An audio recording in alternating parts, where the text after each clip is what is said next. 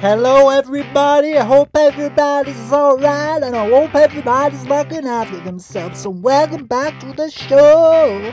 It's time for can you name that Sweet. Here we go.